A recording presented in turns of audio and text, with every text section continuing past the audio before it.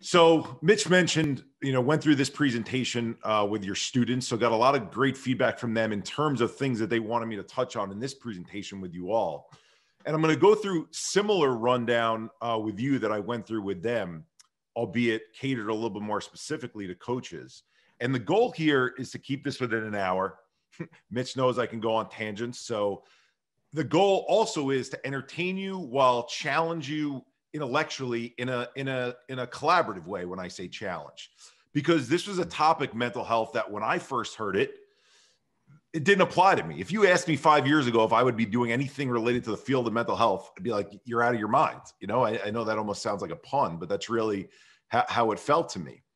And so as I take you into here, what I want to start with is the world and the space of mental health and even understanding what it is. I think we're at this place right now where where we as a society if if we ask 10 different people what is mental health? we get 10 different answers. And there's reasons for that right? It's it's not it's not any one person's fault or one organization's fault. But i put this slide up here where you see everyone making the sign that we make as an organization which is same here. You see in our logo thumb pointed at me, ping, finger, pinky pointed out all you. We're the same. We're going to get into why we use that messaging in the space of mental health. And you see different organizations that we work with from professional sports to college to K through 12s to servicemen and women and first responders. This is not the way our society looks at help, like a, we're all in it together type of conversation.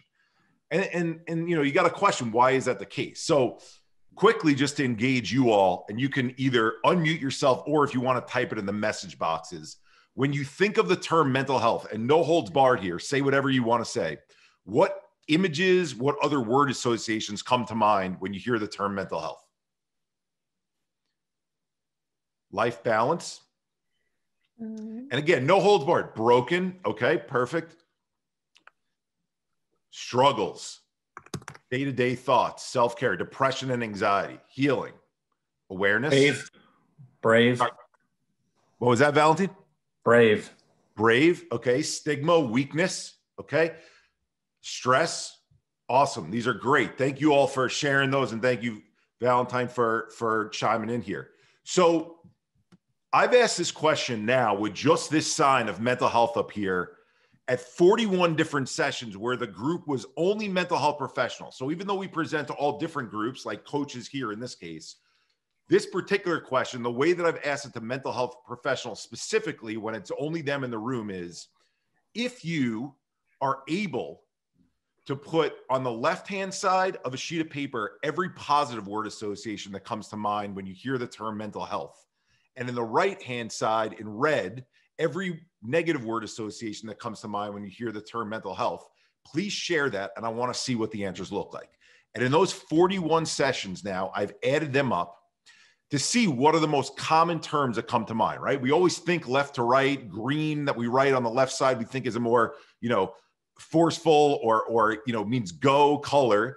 Okay. And in doing that 41 different times, here are the top 20 plus words that have come up in terms of frequency.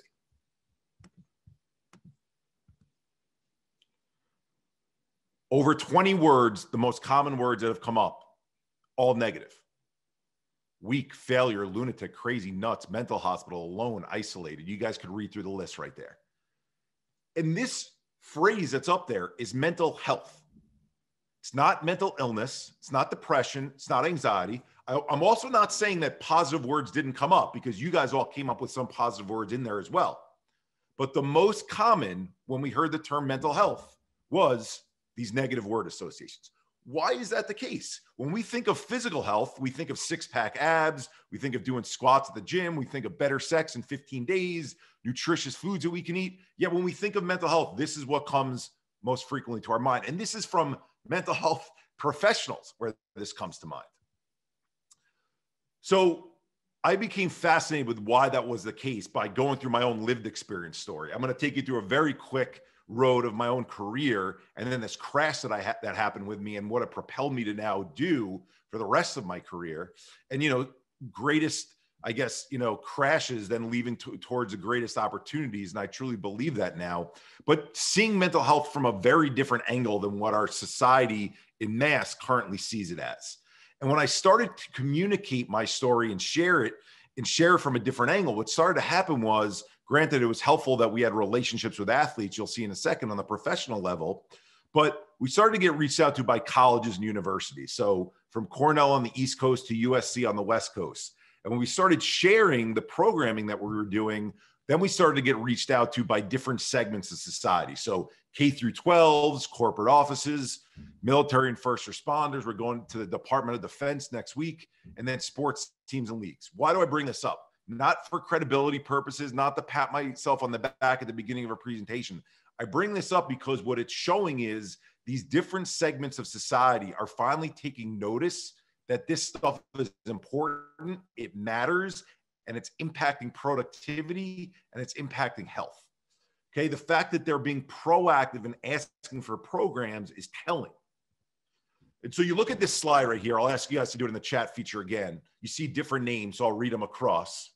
But it's Kevin Love, Demi Lovato, Kate Spade, Carson Daly, unfortunately Tyler Hilinski, which many of you know being on the West Coast, uh, Kanye West, Avicii, who's the DJ, uh, Dak Prescott, Delonte West, Antonio Brown. Put in the chat or say out loud. These are the, the most popular athletes. Maybe I don't have uh, uh, uh, Lady Gaga and, and Michael Phelps up there. I could add them as well.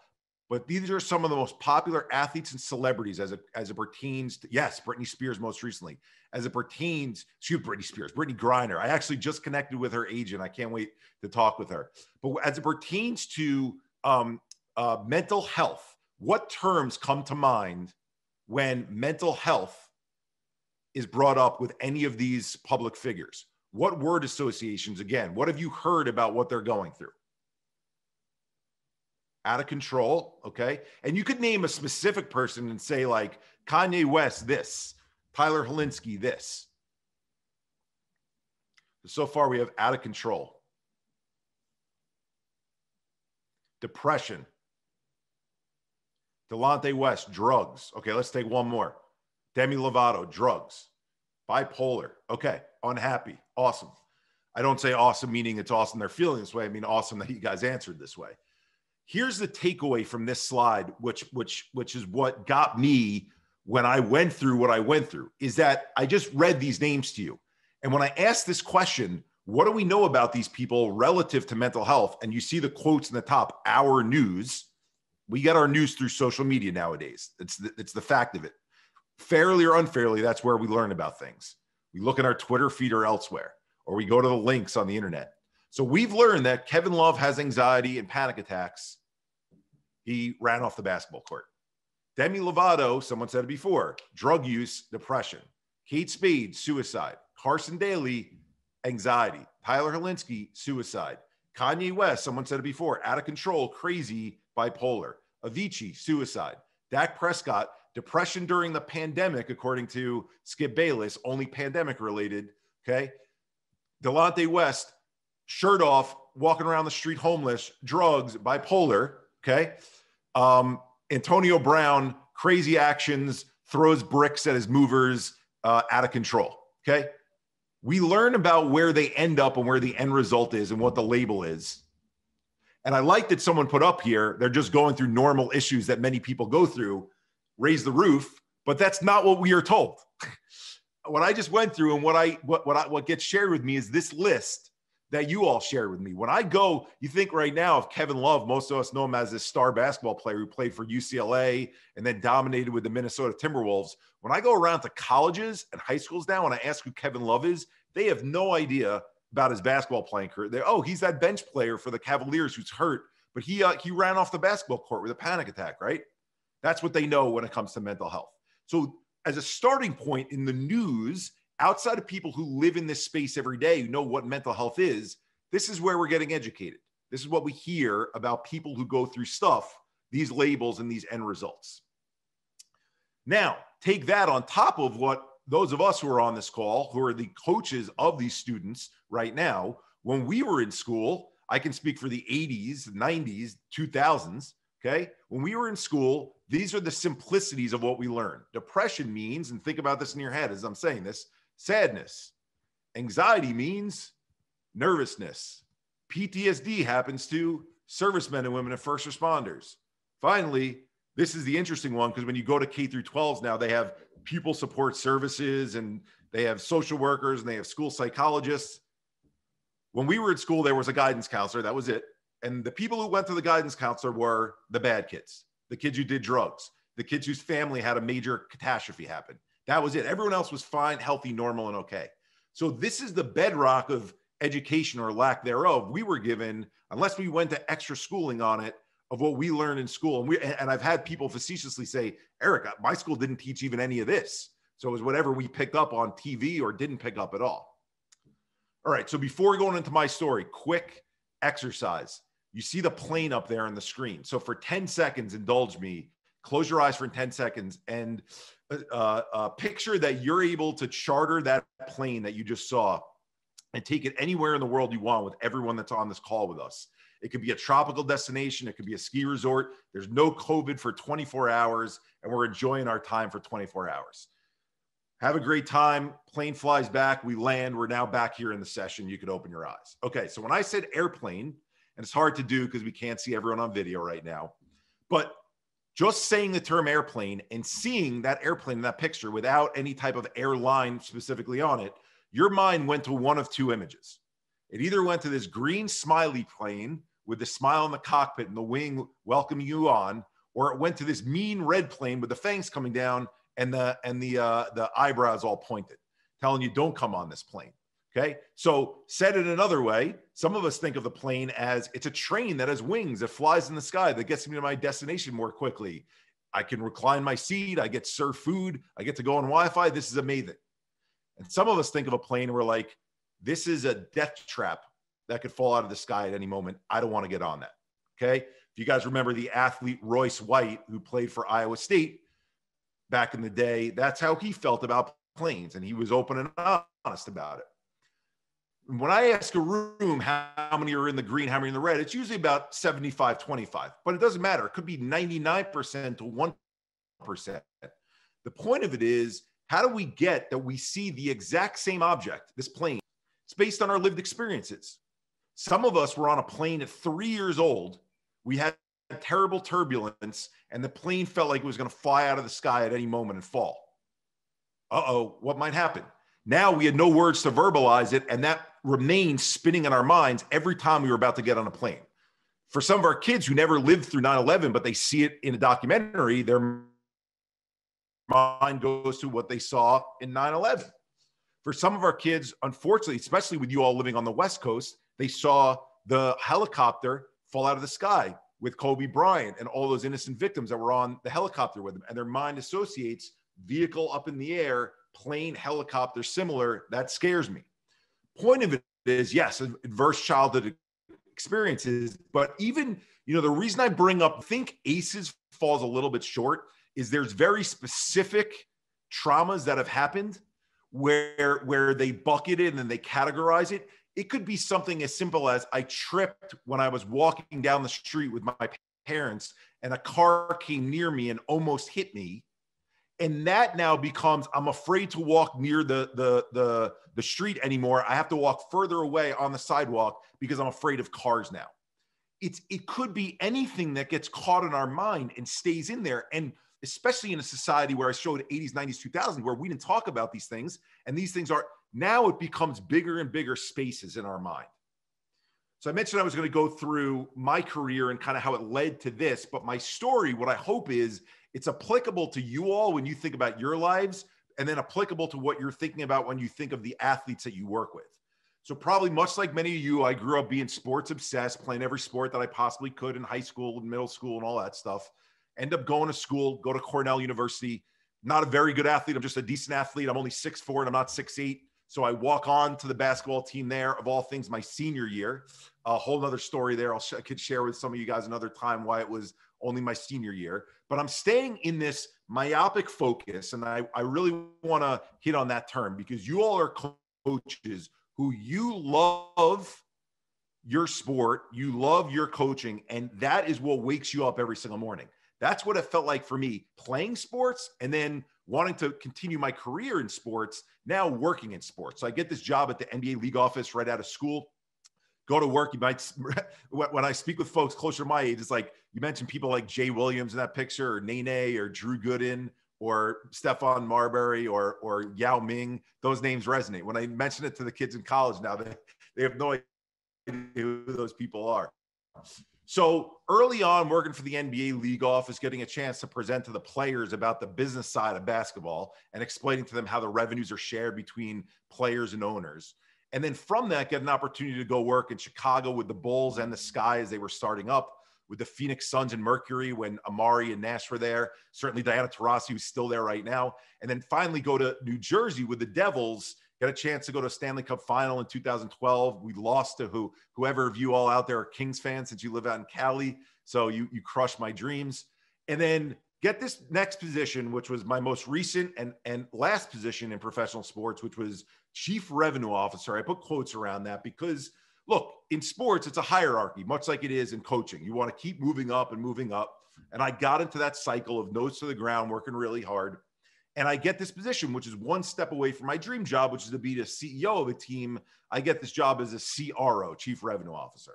And you see these pictures and you see these smiles there and in the space of mental health. We're always hearing, oh, that person was wearing a mask. They didn't really have a smile on. No, I really was enjoying my time down there. New ownership group purchases the team, military background, West Point grad. They have a West Point president who's my boss at the time and you see me down there. I've got friends coming and visiting, taking pictures on the ice, wearing my uh, my, my Halloween costume that I bought in a store the first uh, October. I'm down there and I, and I, get chance of that's the biggest Woody I've ever seen as I'm as I'm walking down Las Olas Boulevard. I, I, I mentioned these little tidbits, these jokes. Maybe my jokes are worse than uh, than Mitch's, but only because you know this smile that you saw was real. That's how I felt that first three, four months down in Florida. Then all of a sudden, things start to change. About four month mark hits, and you see these four pictures around the main picture up here. Is I started to lose interest in things outside of the office. I start to lose interest in hanging out with my friends. Start to lose interest in going to the gym or having any energy for it. Start to lose interest in, you know, watching TV, uh, watching my, my my teams on TV. Maybe because I'm a Knicks fan and an Islanders fan, that was justified. But but even so, it was you know I, I just when I came home, I didn't even care to put it on. Playing in leagues and teams recreationally, and the only thing I could keep focus on was my job. That's the only thing that kept me afloat. And again, thinking about your athletes and the sports that they play, or you all in the sport that you coach, oftentimes this is the case. We've got one thing that's driving us. And if other things are going, oh, I'm not as interested in hanging out with my family, I'm not as interested in this stuff. We justify that. And that's what I did. I justified, oh, this is the world's way of telling me I need to focus even more and more on my work. So instead of getting in at seven o'clock, I'd get in at 6:30. Instead of leaving at 12 at night, I'd leave at 12:30. And that's all it was. It was an excuse because I wake up one morning and now this is about the five month mark. So still pretty early in my tenure there and I feel like I need to push myself out of bed like I'm in quicksand. And I walk over to the closet and it feels like every step I'm taking, there's cinder blocks on my feet. And I look in the closet and it feels like a bomb has gone off. Even though my clothes are organized, you got much more space in Florida than you do in New York.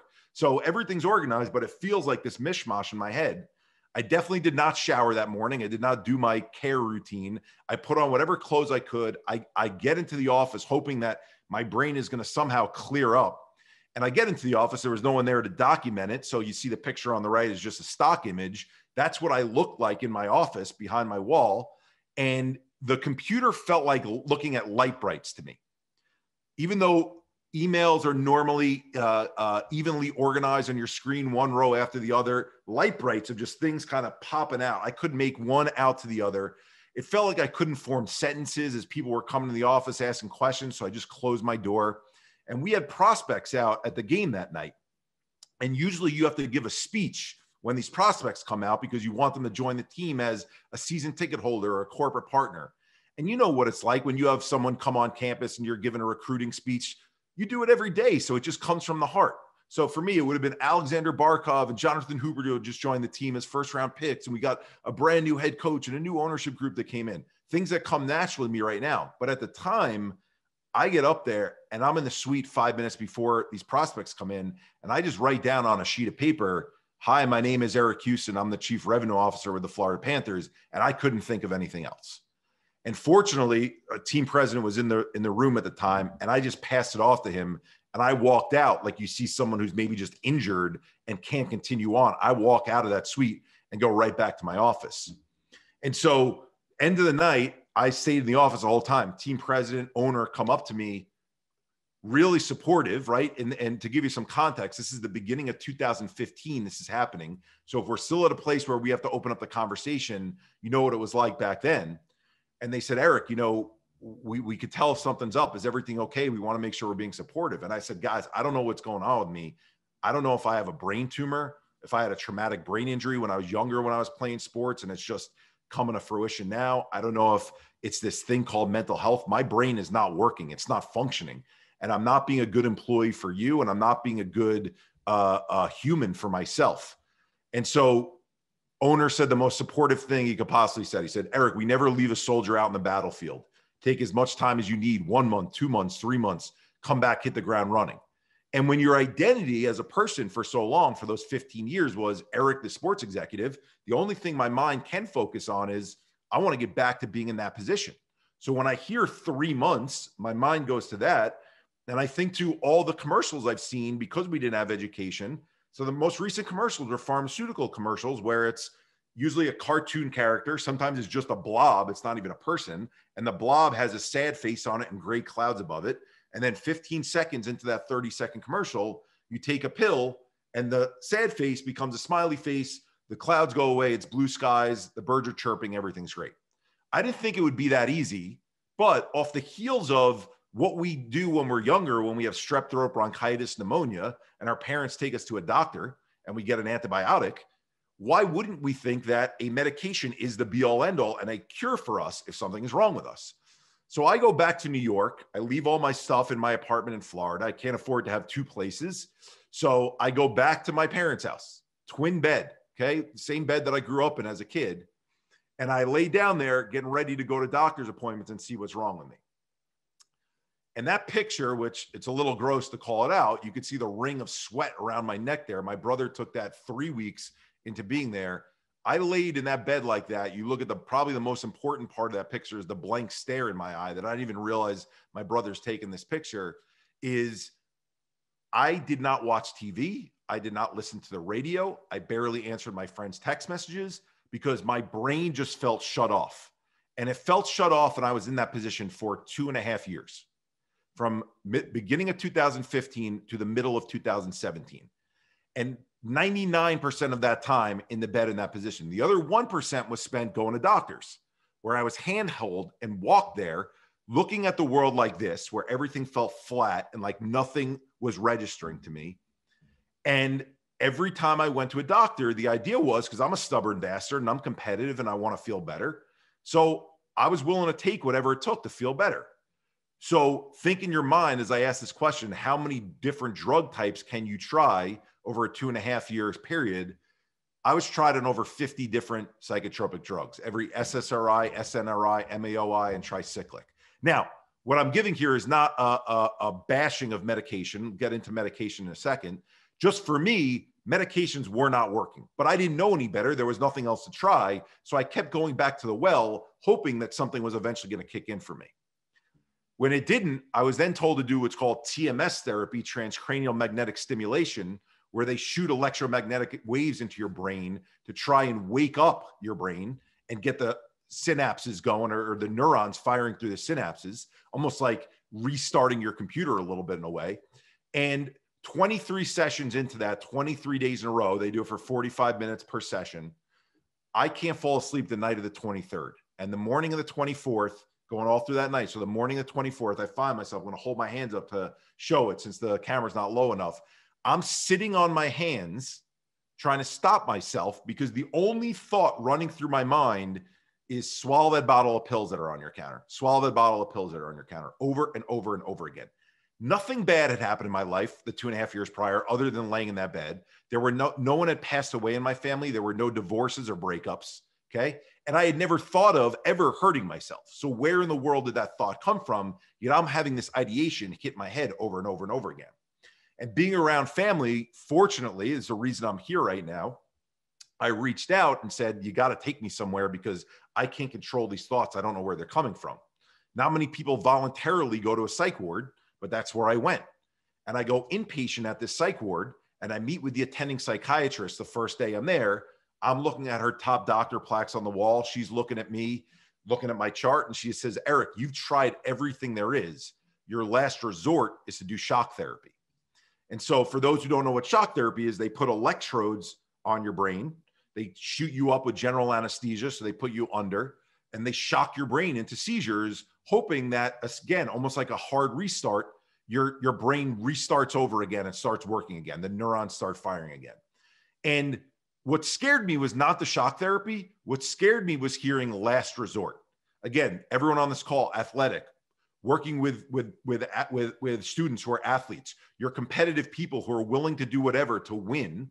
Okay, but hearing, imagine hearing, unless you do this, nothing will ever work out. That's the scariest thing to hear because you feel like you're done unless this works.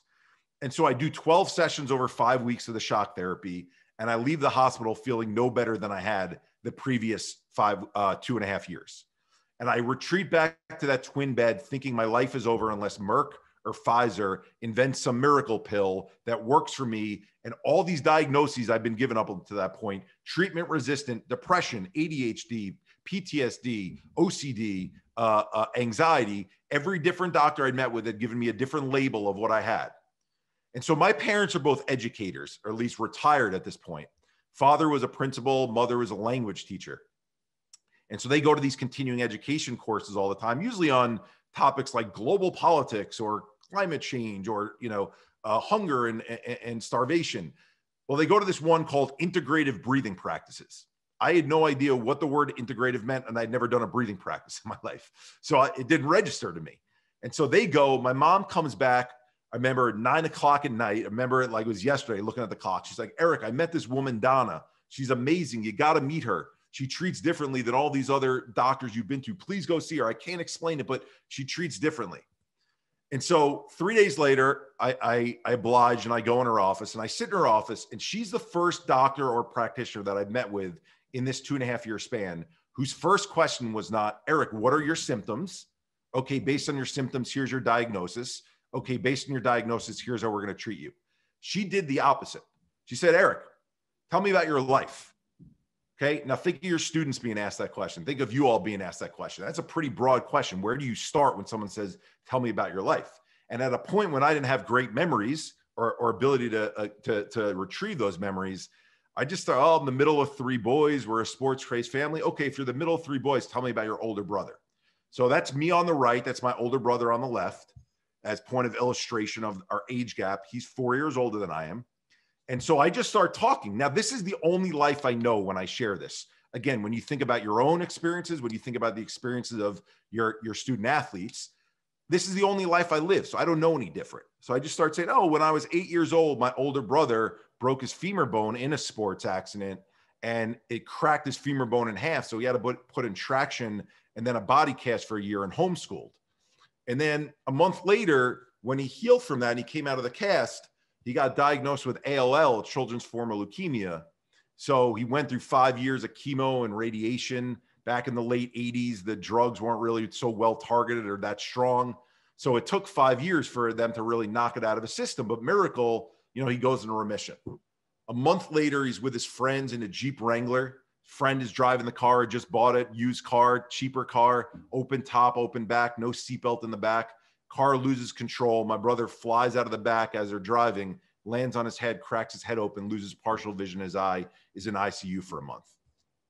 Heals from that, goes to college, starts feeling a pain in his knee between his junior and senior year, gets all the sports medicine testing, everything comes back negative. They do blood tests and they find out that his cancer is now returned. So now with his cancer returning, they have to give him a much stronger dose of the chemo. Giving him the, sm- the stronger dose of the chemo, I now go to college at this point. He's back down staying with my parents as he's getting the treatment. And I get a call from my father that he's developed 105 fever. They're taking him to the hospital. His body goes into what's called septic shock. Organs start attacking themselves. It leads him into a coma. And so when I go down there, the neurologist is telling us we don't know if he's ever going to wake and if he does wake, if he's going to have any any brain capacity about him whatsoever. And so this goes on for one month, then two months, then three months. Finally, at the end of the third month, he wakes miraculously, got his full cognitive abilities about him. We're all celebrating, but his kidneys fail from the rigor of the septic shock. He has to go on dialysis. We all get tested to see who's the closest match. My father is, donates a kidney to him. Finally, childhood ends. I graduate college. I go to work for the NBA. You get the childhood stuff out of your mind. You're moving forward, blank slate. That first year working at the NBA between the ages of 22 and 23, three of my close friends I grew up with passed away, obviously unrelated to one another from heart conditions. And so when I shared this, you know, kind of just verbal diarrhea almost in a way with this woman, she says, Eric, is there anything else that happened to you in your life that impacted your mental health? Very important point when we're working with student athletes. These things happened to me from the time I was eight until I was 22, 23 years old. I'm sitting in this woman's office at 35 years old, 12 or 13 years after the major events that I talked about. And she's connecting what happened to me then with how I'm feeling now. And I said, Donna, what do you mean affected my mental health? These happened to my brother. These happened to my friends. These just didn't happen to me. And so, sports analogy again, to her credit, she's not a sports person. She said, Eric, you had a front row seat. If you had a front row seat for a basketball game and these big seven foot players are running up and down the court and they're sweating or they're diving for a loose ball and they land in your lap, your suit's going to get sweaty. You're going to bring it home after three hours of watching the game, get it ready for the dry cleaners, take a shower, and put a new suit on the next day. But if you have a front row seat for the game of life, and the game of life is represented by your brother in a wrestling match against that game of life, and your friends in a wrestling match against that game of life, and it's a muddy wrestling match, and every move they make, they're hitting the canvas, and the mud is splattering up and hitting you, and splattering up and hitting you in that front row seat your suit's going to get very dirty. I didn't use brown here because it would have been gross. So I used green instead. But it would get dirty. It would start caking up on you. And because you're focused on playing sports and working in sports in your life, you're not noticing that these things are building up on your body and getting heavier and heavier and heavier. They're hurting your performance. They're collectively making things, yep, the body keeps score by Bessel van der Kolk. Awesome book. So over time, this stuff is building up on you your performance is getting worse and worse and worse. You don't realize it because you're so focused on, hey, I got to get the task at hand done and I'm already able to do it at a high level. And eventually you get to the point where it's so heavy, your body, the reason you came to me at 35 with such a major decline is because you were able to push through it so well for all those years that it just stopped you in your tracks and your body said, we can't do this anymore. And so my reaction to her was, Donna, I appreciate what you're saying to me. It's funny that I called it a theory back then, but I said this theory of yours about how stuff builds up in us, in our bodies over time, that you'll see a lot in that book that, that was just posted by Bessel van der Kolk is I said, take my story out of it for a second. The average 15 year old child, 20 years younger than I am right now, they've seen, if you're talking about all it takes is seeing things happen to other people in our lives. So a child has seen their parents fight and go through a divorce. A child that's seen their parents lose their job and potentially lose the house, a child that's seen their two best friends' friendship dissolve, a child that sees their best friend be in a relationship with a significant other and get broken up with and be crushed, a child that sees their friends being verbally abused in front of a, a, a group of people by an adult or, or bullied on a schoolyard or hearing about their friend being sexually abused or watching their friend go through the sickness of a loved one or a loss of loved one which is this list right here. And I said, I don't know a single person in this world by the age of 15 who hasn't been through one, some, or many of those challenges. So if that's what you're telling me that this is what contributes to mental health, well, then who the hell's mental health hasn't been impacted? And so she kind of takes a step back. She says, Eric, that's how I feel about mental health. Unfortunately, that's not how our society looks at mental health. And so, you know, looking at today and the things that we're all living through right now, look at how many were impacted by someone who 99.9% of the population never met in person. Celebrities like a, a, a Kobe Bryant. You saw the outpouring of grief when he passed, like the pandemic right now that we're all living through. These outside factors that we live through in life and how they contribute to our mental health. And I promised Mitch on this next part, I wouldn't go into too much of the science of this stuff, uh, but if plaque builds in our arteries over time from the foods that we eat and the stress that we live through and, and, and our lifestyle, why wouldn't it make sense in our cardiovascular system if that stuff builds up that stress and trauma couldn't build up in this other system that we have in our body, our central nervous system. Okay. So think of them as cumulative builds. And so my doctor sends me, this is the part I, I promised Mitch I'd be shorter on. My doctor sends me to this weekend breathing course where I show up. I'm the only man, only one under 40, and only one born in this country. So it's me and eight Indian women and nine yoga mats. Feel like a fish out of water, but I learn how the breath and doing certain breathing patterns in an exercise, much like how we exercise the body, actually cleanses the body, allows it to relax, allows the cells to, to stop their inflammation from happening, allows our hormones to be secreted at the right levels, or allows this tone in our neck, vagus tone, to actually become smoother and allows our body to relax and say, okay, everything's okay here. the, the, the, the next shoe is not going to drop just because it either has in the past or because you're anticipating something bad that might happen. And so I remember doing this practice for, they asked me to stick with it for 40 days. And on the 30th day in, I'm doing it at home, 45 minutes a day. I wake up and I look at the TV, and my first thought is, holy shit, I want to turn the TV on. This is amazing. And I want scrambled eggs for breakfast. Two feelings I had not had in the whole two and a half years prior, and they came back to me. And it felt like Christmas morning or first night of Hanukkah, whatever you celebrate, it felt amazing. And at that point, when I started to feel better, not necessarily emotionally, but at least cognitively, I decided I was going to share my story. And I put my, I didn't have social media. I'm not a social media person. At least I, I wasn't before any of this. And so the only thing, I didn't have Instagram or Twitter. I had LinkedIn because that's where sports executives stayed in touch with one another. And I write this long ass story, believe it or not, a lot longer than I just told all of you. It takes 35 minutes to read it. It's at the time when uh, LinkedIn didn't have any character limits.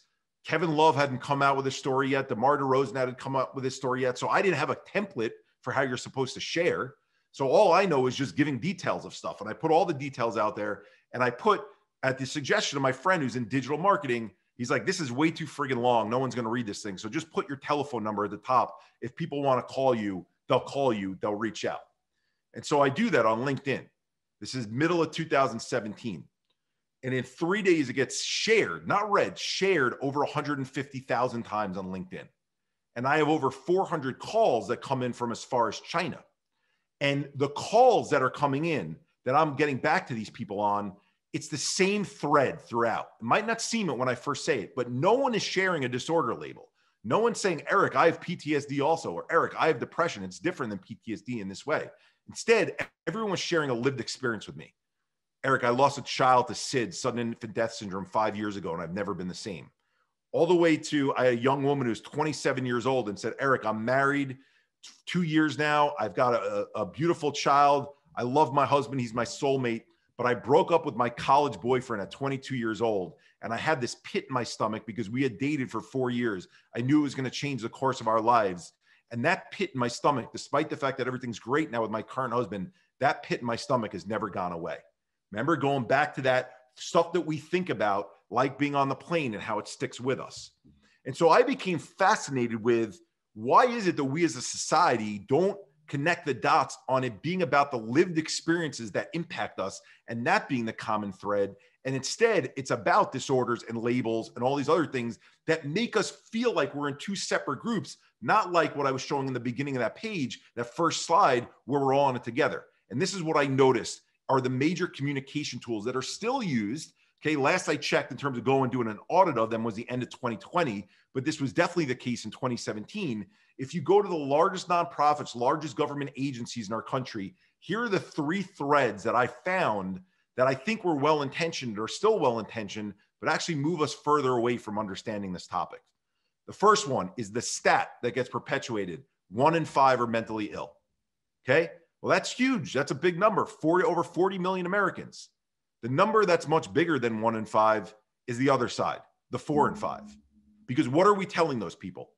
Because if you don't fit in the mentally ill category, and that's the only topic we're talking about when it comes to mental health, is disorder and who's mentally ill. And when I ask a room of kids that question, what are you if you're not in the one in five? The answers that I get is healthy, fine, normal, okay. It's not the case We're all impacted by the things that happened to us from our past. They impact our, our performance as well. Next thing, all the campaigns were an action word followed by stigma. Stop the stigma, stop the stigma, break the stigma, erase the stigma. Well, the term stigma means there's a group of people forming opinions and judgments about another group of people. You all coach teams together. Imagine your teams were broken up into two groups the people who are doing something, the players who are doing something, and then everyone else who is making unfair judgments and opinions about those players who are doing that one thing. That wouldn't bring your team together. That would separate them further apart. It'd be a great rallying cry for the people who believe they're being unfairly uh, thought about, but it would make the rest of the group feel like you're slapping their fingers, you're slapping their, their wrist for what they're doing. The way in which celebrity stories were shared. And you know, I gave the endorsers for athletes, so they would share the story that would appear in an Us Weekly or People Magazine. And it was things like Britney Spears shaves her head because she has depression, or Lindsay Lohan has anxiety, she's a hot mess. Or now going to sports, you know, uh, uh, Andrew Luck, he's a snowflake because he couldn't play anymore because he just couldn't hack it. Or Everson Griffen, he went crazy and he chased people down on the parkway. Or again, Kevin Love ran off the basketball court. Well, you add these three things up. One in five are mentally ill we got to stop stigmatizing that group. And that group looks like people who are snowflakes, shave their heads, run off basketball courts, and yell and scream at people on the parkway. Do we now wonder why we as a society don't understand this topic? Do we wonder why our kids are afraid to bring it up because they're going to be afraid to put in a bucket if this is what is thought of them if they bring it up? Even with Hayden Hurst, who we work with, he and his mom were the ones who made sure that that Baltimore Sun article was titled like this struggled with his mental health, hopes to help others and look at what TMZ does with it. Now, TMZ is perverse, but I can tell you there were a ton of, of, of uh, outlets that wrote this. They took something he wrote in the article and it became, I cut my wrist in college. That's why we created the concept of same here. Because instead of talking about about one in five, we got to talk about this as five and five, what everyone goes through. Instead of talking about about stop the stigma against one group of people, it's we're all the same because we all go through different challenges that put us all in, on the same team together. And even though it happens at different levels and different times in our life, it actually happens to every single one of us. And so we got lucky in that starting to tell this story, we started to reach out to mostly athletes. So it is extended beyond that. People like Hayden Hurst, like Imani McGee-Stafford from the WNBA, or Chamique Holdsclaw from the WNBA, or Robin Lehner, who now plays in the NHL, and you'll see in a second wears the hashtag on his helmet, or an Amanda Beard, who, who is an Olympic swimmer. Even someone like Kobayashi, I don't know if you consider competitive eating hot dogs a sport, but it's pretty freaking cool that you know someone like that joins it. And their goal in sharing and understanding being a part of this is what they're sharing is not their label. They're sharing their story of what they've been through in life. You know, in in Chamique's case, the loss of her grandmother at a pivotal mm. point in her life, and her grandmother being like a parental figure to her. And so instead of looking at it that way, what we as a society do, and oftentimes, especially in a clinical sense, is we look at the two D's disorder and diagnosis, bipolar, anxiety, ADHD, depression, etc. This is really what we feel, what our student athletes feel on a daily basis that is related to mental health hurting, foggy, numb, exhausted, stressed, struggling, unhappy. These are the symptoms that start to develop, but we write them off because, unlike where we roll an ankle or we break a leg, okay, or we hurt our shoulder, when these things happen, we're like, oh, I probably just slept on the wrong side of the bed. Or oh, I probably drank a little bit too much the night before. That's probably what it's from. We justify when we feel these things. So we end up looking at it as unless you are this far end where you've got this genetic thing, you live in this mental illness bucket, you are mentally well. You're in that other bucket. And that's not the case. This is the case for every single one of us, every single one of your athletes is that we live on this continuum. This is something we use in every school we work with, every college we work with, even when we do separate work with coaches, is creating similar language and saying there is no good kid, bad kid, sick kid, healthy kid, weak kid, strong kid. There's life experiences that we are going through that fluctuate us up and down on this continuum. And we can move anywhere on that continuum any given day, week, month, year we move up and down on there. And that doesn't make us bad. If we're sinking for a number of days in a row, what can we do? What control do we have to start to work on that instead of saying, well, that's the sick kid. They're in a bad place. We don't play them ever again, or they're never going to get better. I worked with a, a youth, uh, a, a woman in youth hockey, 15 years old. Her coach said to her after she brought up how she was feeling, you can't come back to the team until you're bright eyed and bushy tailed self and you're cured that story went on ESPN just because of how that was treated. That's the misunderstanding that's in this space that it's an either or, that it's a binary topic. And so this slide is probably the most important slide of this entire presentation. It's a simplistic overview. But if you think of your brain as a balloon, and that balloon over time fills with air, and that air is our lived experiences.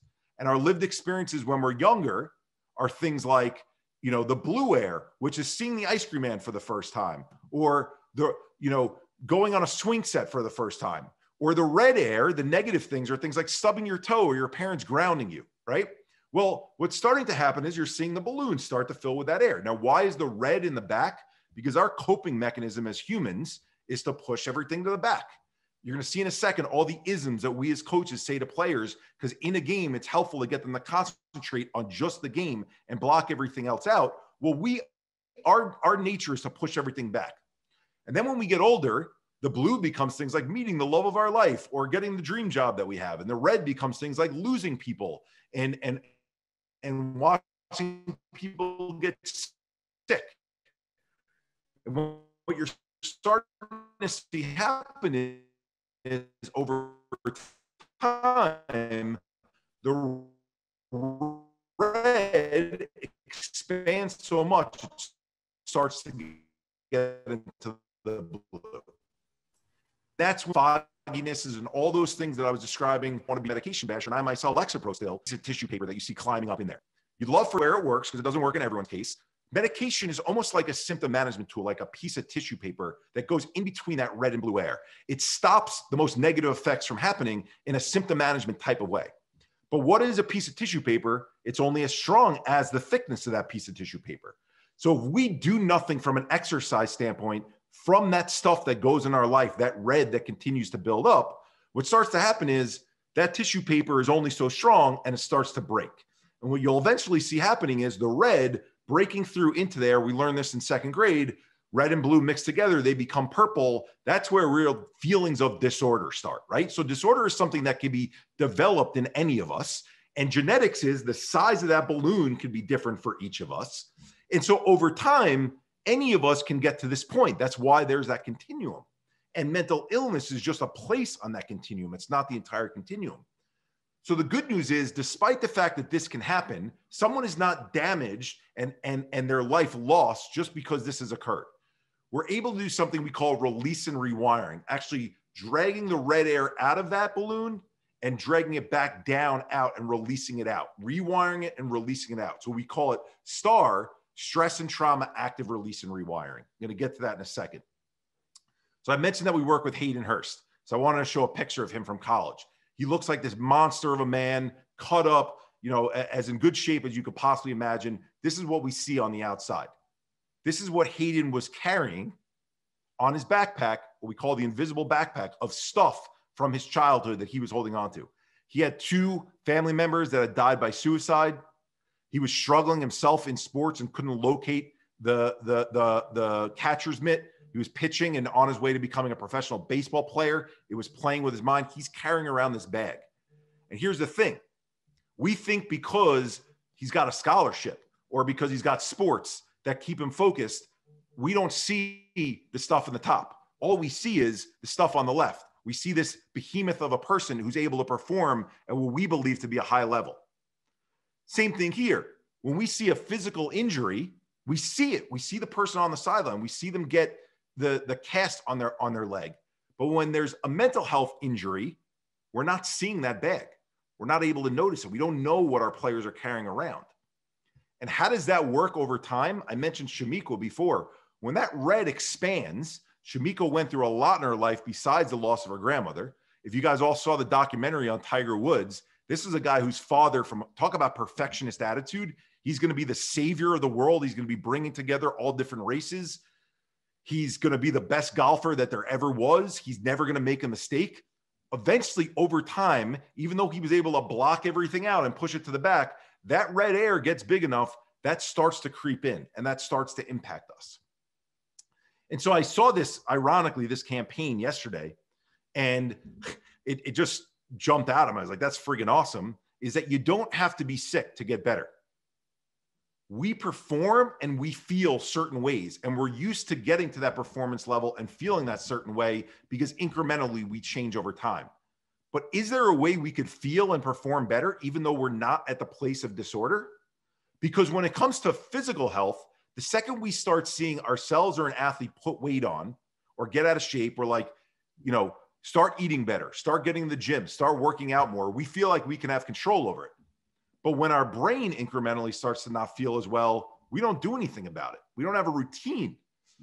And if you ask an average college student, what are 15 things they can do for their physical health in this left column over here? They've all been inside a gym many times in their lives. So they go elliptical, treadmill, boxing, kickboxing, swimming, universal weights, free weights, rowing. They can name it. And we call these people warriors because they're the first ones in the gym and then they're the last ones out. And then you ask them what exercises, what routines can you do for your mental health? And they're like, headspace, calm, maybe yoga. They know one or two, and it's usually app based. So if someone goes to therapy, their peers start to call them weak.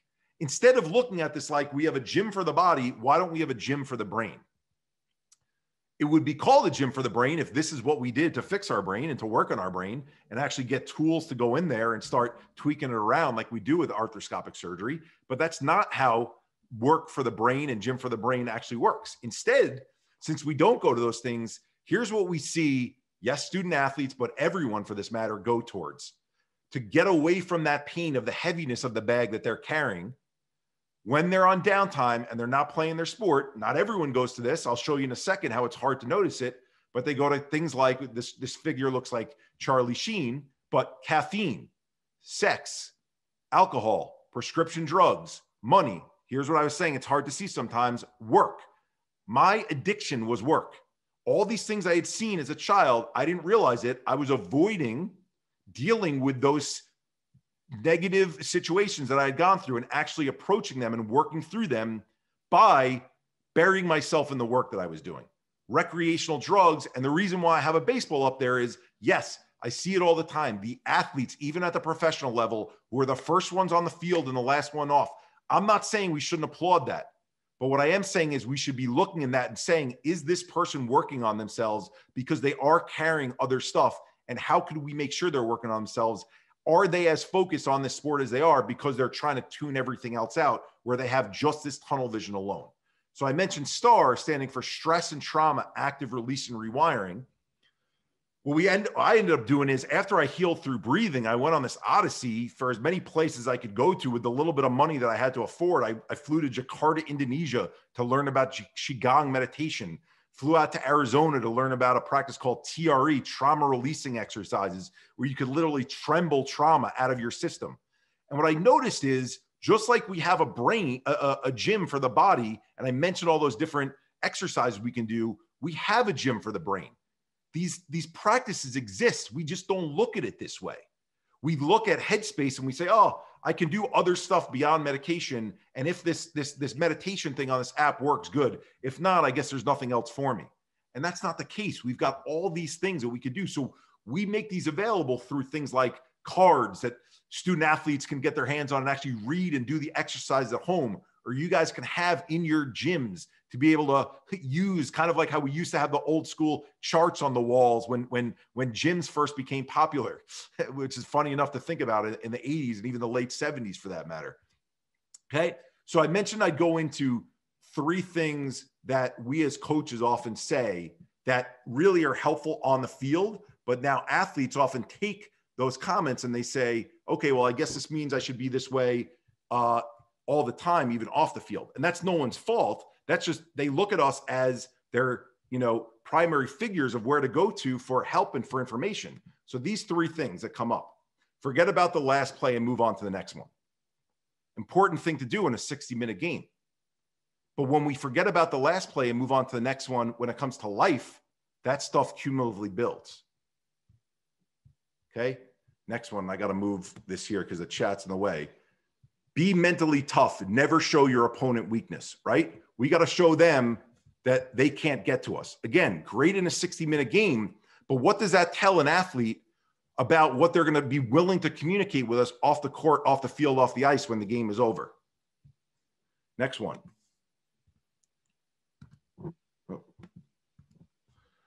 proper execution of this play requires you to hit this line at this exact angle as you look for this exact pass.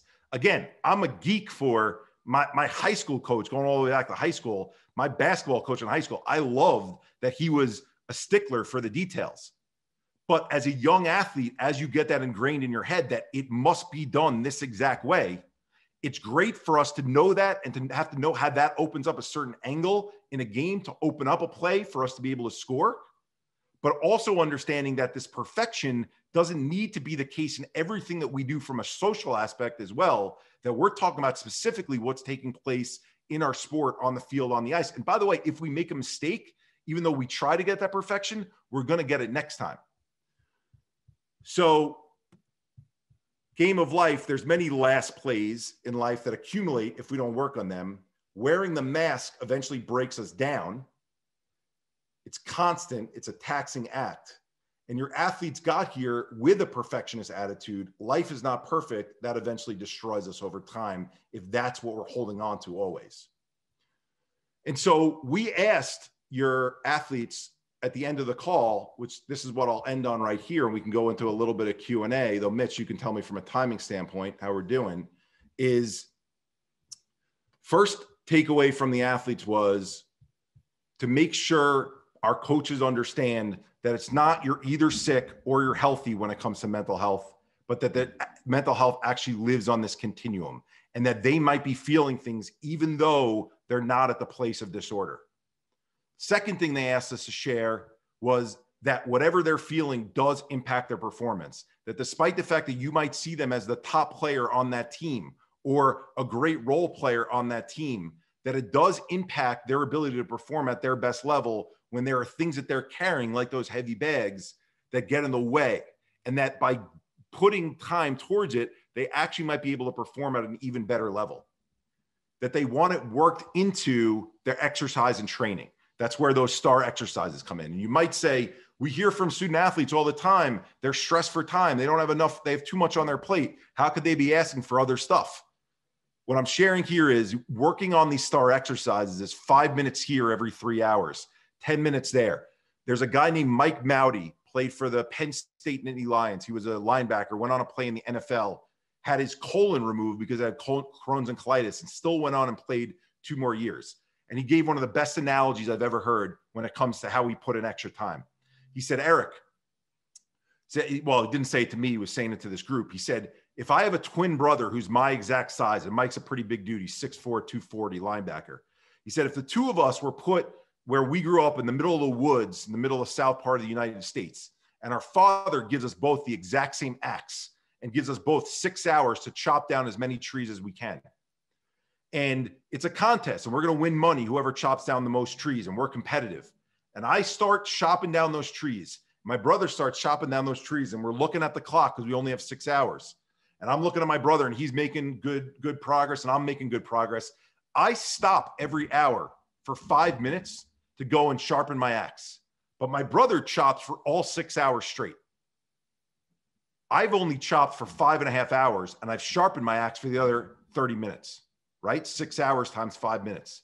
My brother, nonstop, he's a workhorse. He's gone through it. Who chops down more trees? And he said, I'm going to chop down more trees because I'm going to have a sharper axe to be able to be more efficient in that five and a half hours that I work.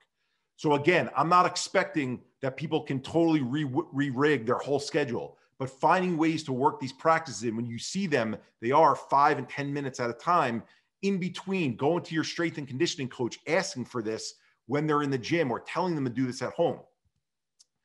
Final two, they wanted to be able to take mental health days. Okay. And I, when they said that to me, I know that that's going to come with a little bit of pushback. I think, you know, if you want to look up an interesting story on this, there's a woman, Liz Cambage, who played in the WNBA for the Las Vegas Aces. She said, Why are we not allowed to have the designation when we're not feeling right in a game? DNP did not play mental health because there's a fear that athletes are going to take advantage of it. The question I got to ask is when it comes to whether we allow people to take off or not is are we cutting our nose to spite our face? There's definitely people that can take advantage of it. I'm not denying that. But for the kids who actually need it, if we're able to open up that conversation and make it one where they're comfortable asking for it when they need it, might we get better health and then ultimately better performance out of them? As long as they're not taking advantage of it as long as when we see it we recognize it we're open communication with them is that going to lead to better results? And then the final thing that they asked for was vulnerability from up above. And vulnerability you know i do these with ceos as opposed to coaches all the time and these are people who walk around in their blue pinstripe suits pastel ties and brown shoes and they are teflon don and donna. And they don't love opening up. So, that, Eric, what do you want me to share? That that I, you know, I have I have bipolar. That my I had a family member that died by suicide. No, I want you to share something that's got going on in your life that's difficult. Uh, one of the most poignant uh, conversations I ever had. We were in a group of coaches with Providence College, and um, their their head basketball coach just slammed his fist when I made this point, and he goes, "Eric, I grew up and I was essentially homeless for four years." My dad had me living on my uncle's couch. And whenever I go in and I recruit kids, I share my story of being homeless because it got me to where I am right now. But I know when I share that, there's going to be an openness for them to share with me whatever's going on in their life. So sharing vulnerably doesn't mean having to come clean about a label. It doesn't mean having to come clean about something that's private. It just means every so often sharing, you know what? This is something difficult in my life that I faced but this has made me so much stronger that I went through it. And now I've been able to get somewhere because of it. All right, Mitch, hopefully timing wise, I, I, I nailed exactly what you were asking, asking for. Someone just wrote taking off the mask. Exactly. And by the way, with taking off the mask, it, I'll give you a quick 30 second story here. There's a school district K through 12 in Jacksonville, and they created a campaign that they just recently launched called Take Off Your Mask and it's kids taking off the physical mask now because we're in the middle of a pandemic. It's Florida, okay? And you have this fight going on between the, the, the parents who believe that you can't confuse people with that messaging because a mask needs to be weared, worn now because of what's going on with the pandemic, with the administrators who are like, this is an important message, especially even now, because if they don't take their mask off and start talking, these kids are going to start spinning because of all that they're thinking about not being in school together at this time, being able to discuss. Anyway, I love messages like that. We work with an organization called the Goalie Guild. So anyone who has uh, goalies in soccer, in hockey, and lacrosse, they have like 25,000 goalies from around the world. The name of their campaign is called Lift the Mask, not Take Off the Mask. Same concept here being open, sharing our stuff as opposed to sharing our labels. Mitch, you want to hop back on with me here? I'm, I'm here with you. So um, you you you you got in there within a little over the hour. You did an awesome we, job. We didn't start. We didn't start till a little after. So I, I, I, gave myself a little cushion. Okay, but thank you. Uh, I did want to allow some folks if there's any questions right now. Um, uh, obviously, I think Eric's got some contact information up there that if you wanted to uh, contact him off the side, uh, feel free to do it. I think though that, you know, I think the information that um, he's able to bring from the student athletes on Wednesday's meeting to you today was uh, really important. And hopefully it's something that uh, can be, uh, you know, put into place. But if there's anybody with any questions uh, at this point, um, feel free to uh, chime in. Otherwise, we're going to thank Eric for all his time and we'll, we'll we will be sending out a survey uh, just like we did uh, after the first speaker. And uh, looks like you're getting a lot of people saying thank you thank you. Um, I, I want to give you all credit. I'm seeing like some of the um the titles on here that there are mindfulness coaches on here and it, it warms my heart to see this. I, I, I love that you guys are in this space and talking about this stuff. I, I got to tell you when i first did it two years ago um, when we started with the colleges, the, the, the, the folks who are at the counseling centers or even the sports psychology groups were saying, you know, unless a suicide happens on campus, it's really hard for us to get resources to talk about these things. It's almost like we're waiting for a crisis to happen in order to get more resources. So I love the fact that you all are actually, you know, uh, uh, motivating and getting people in and getting people who are talking about this is is amazing. So I, and, and I, I don't see him on screen right now, but the gentleman who was from Chico State, I could have sworn we were on a panel together as well. I don't know if he's still on anymore, Mitch, but uh, it's cool to be able to cross paths with you all and see kind of the fabric of this stuff mixing together is uh is, is incredible and that's what we need to really raise a level of this Awesome stuff. So, uh, Eric, thank you much. Um, we will be in contact with you, I'm sure. And again, I'll uh, I'll pass your contact information on to everybody so that if they want to uh, contact you later, they they certainly can. It looks like we've got some people who would be interested in some of the information that you have. Uh, For sure. Down the road. i'll send a link to the star exercises stuff also Yeah. uh mitch Awesome. awesome All right. Well, thank you much. Thank you all for uh, for joining us, Eric. Thank you. Enjoy your weekend, everybody. Please stay safe and, and do wear your mask. Wear your mask.